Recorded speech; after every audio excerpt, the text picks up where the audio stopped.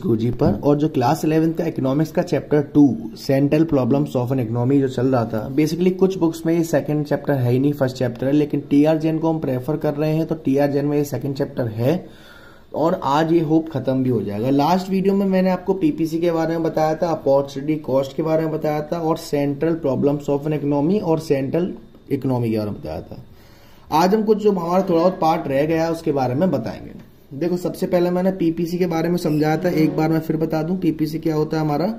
Production possibility कर यानी कि ये हमारे किसी भी दो गुड्स के कितने कॉम्बिनेशन बन सकते हैं हमारे रिसोर्स और तकनीक की मदद से, उसे हम कहते हैं पीपीसी और मैंने आपको बताया था कि ये हमारा पीपीसी होता है ऐसे।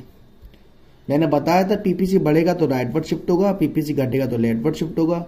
ये रिसोर्सेज के बढ़ने घटने की बात हो रही है, लेकिन अगर टेक्नोलॉजी अपडेट बढ़ेगी या घटेगी तो ये हमारा कर्व इस तरीके से आएगा। बढ़ेगा तो यूँ, घटेगा तो यूँ। अब बात आती है कि आप कैसे पहचानोगे कि सर पीपीसी बढ़ेगा या घटेगा? आपको कोई केस स्टडी दे रखी है और आपने वो केस स्टडी पढ़ी। वो स्टडी केस स्टडी आपने पढ़ी और उससे लग रहा है कि इससे हमारे रिसोर्सेज का नुकसान हुआ, या तकनीक बर्बाद हो गई, जैसे अर्थक्विक आया सुनामी आई। तो इससे हमारा पीपीसी क्या होगा? घट जाएगा। वही अगर ये हमारा रिसोर्स बढ़ेगा तो क्या होगा पीपीसी बढ़ जाएगा? तो अभी मैं बताऊँगा प्रॉपर्टीज़ ऑफ़ पीपीसी ये बहुत पूछा जाता है आपसे कि हमारे जो पीपीसी है, उसकी प्रॉपर्टीज़ क्या है? सबसे पहले पीपीसी की जो शेप होती है वो कॉनकेव होती है। ये आपने टेंथ में पढ़ा होगा कॉनकेव और कॉन्वेक्स तो पीपीसी की शेप क्या होती है? कॉनकेव होती है। दूसरा होता है हमारा डाउनवर्ड स्लोपिंग होता है। ये हमारा डाउनवर्ड स्लोपिंग होता है। डाउनवर्ड स्लोपिंग का मतलब क्या होता है? कि भाई दो गुड्स हैं एक्स और वाई आप अगर एक्स को बढ़ाओगे तो वाई को कम करना पड़ेगा। और वाई को कम कर वाई को बढ़ाओगे तो एक्स को कम करना पड़ेगा। यानी कि आपको दोनों में से एक गुड्स को तो सेक्रीफाइस करना पड़ेगा ना। इस वजह से जो हमारा पीपीसी का कर्व होता है, वो हमारा डाउनवर्ड स्लोपिंग होता है। ये तो प्रॉपर्टीज़ की बात थी। उसके बाद स्टूडेंट्स कल की क्लास में मैंने आपको अपॉर्चुनिटी कॉस्ट के बारे में बताया था। एक चीज़ और देखो, ये पीपीसी का कर्व मैंने बता दिया। ये। अब तीन पॉइंट होते हैं, एक पॉइंट यहाँ, एक पॉइंट यहाँ और एक पॉइंट यहाँ। आपसे पूछा जाए, इस पॉइंट का नाम क्या है? इसे हम कहते हैं अनअटेनेबल कॉम्बिनेशन अनअटेनेबल कॉम्बिनेशन इसको हम कहते हैं अटेनेबल कॉम्बिनेशन और इसको कहते हैं फुली यूटिलाइज्ड जो पॉइंट कर्व के अंदर है, वो हम अटेन कर सकते हैं। इसलिए हम इसे अटेनेबल कॉम्बिनेशन कह रहे हैं। जो पॉइंट उसी पॉइंट पर है डायरेक्ट उसे हम फुली यूटिलाइज कहते हैं। यानी जितना इस्तेमाल करना था उतना कर लिया। जो कर्व के बाहर है वो अनअटेनेबल कॉम्बिनेशन यानी कि हम उसे प्राप्त नहीं कर सकते।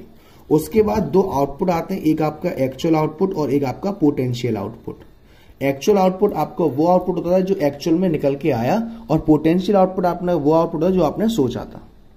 अब इस चैप्टर का एक लास्ट टॉपिक बच्चा है, जिसे हम कहते हैं मार्जिनल अपॉर्चुनिटी कॉस्ट हालाँकि पिछली वीडियो में मैंने आपको अपॉर्चुनिटी कॉस्ट बताया था तो ऐसे ही ये आया है आपका मार्जिनल अपॉर्चुनिटी कॉस्ट और इससे रिलेटेड ही यहीं से आपके न्यूमेरिकल स्टार्ट हो जाते हैं मार्जिनल अपॉर्चुनिटी कॉस्ट देखो, जिसके भी नाम के आगे मार्जिनल लगा हुआ है इट मींस यहाँ पर किसकी बात हो रही है?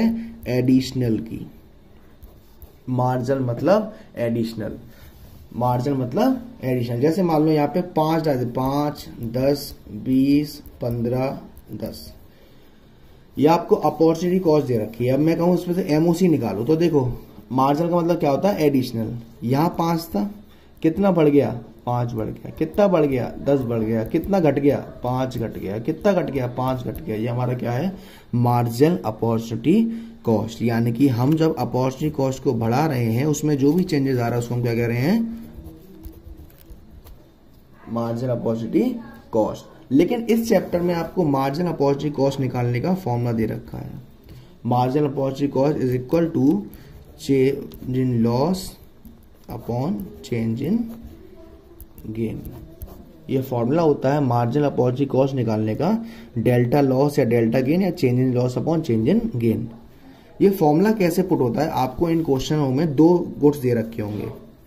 एक गुड्स को मान लिया मैंने एक्स और एक गुड्स को मान लिया वाई इन दोनों गुड्स में से एक की वैल्यू घटती हुई जा रही होगी और एक की वैल्यू बढ़ती हुई जा रही होगी।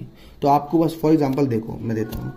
दस, बीस, तीस, चालीस, पचास। और यहाँ लेता हूँ नब्बे, सत्तर, साठ, चालीस, दस। अब इन दोनों गुड्स को देखो और ये बताओ आप लोग कि दोनों में से घटती हुई वैल्यू किसकी जा रही है एक्स की या वाई की? सर वाई की। तो वाई का आएगा ऊपर। अब मैं एमओच निकालता हूँ। घटती वैल्यू किसकी आ रही है इसकी? तो पहले का तो कुछ नहीं लेंगे, हम डैश कर देंगे। दूसरा देखो, कितना घट गया? बीस घट गया। ये कितना बढ़ गया? दस बढ़ गया, यानी कितना आएगा मोसी दो। इसका निकालू कितना घट गया? दस घट गया। कितना बढ़ गया? दस बढ़ गया, यानी कि वन ऐसे कितना घट गया? बीस। और ये कितना बढ़ गया? दस। कितना आएगा? दो। ऐसा निकलता है एमओ सी तो बेटा, ये हमारे यहाँ इकोनॉमिक्स के दो चैप्टर खत्म हो गए।